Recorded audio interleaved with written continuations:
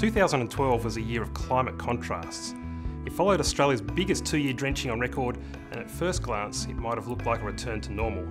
Rainfall was just 13 millimetres above average and temperature was only 0.1 of a degree above the mean. But look more closely, and 2012 was anything but normal climate-wise. The year started with a La Nina in full swing, meaning much of Australia was wet, and some areas were still being hit with floods. The west was in the action too, with severe tropical cyclone Lua soaking inland Western Australia. All up, it was Australia's seventh wettest start in 113 years of records. But April saw the climate shift into reverse. The La Nina ended, the Indian Ocean became unfavourable for rain, and Australia started to dry, particularly inland. August to October was Australia's sixth driest on record. Alice Springs had a record run of 157 consecutive days without rain, and the Australian summer monsoon didn't even arrive before the year ended. In fact, it would have been even drier if not for another contrast.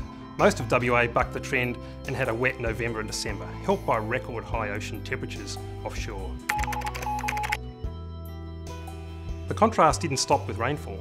The year started so cool some people wondered where summer had gone, and ended with them sweating through heat waves. The first three months of 2012 were more than half a degree below average, while the last three were third hottest on record. A November heatwave saw Oyen record Victoria's first ever springtime 45 degree day.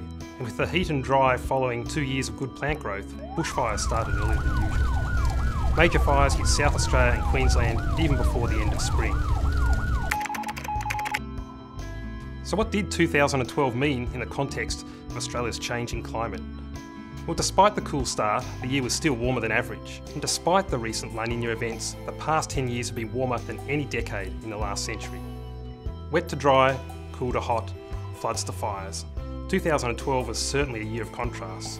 For the Bureau of Meteorology, I'm Andrew Watkins.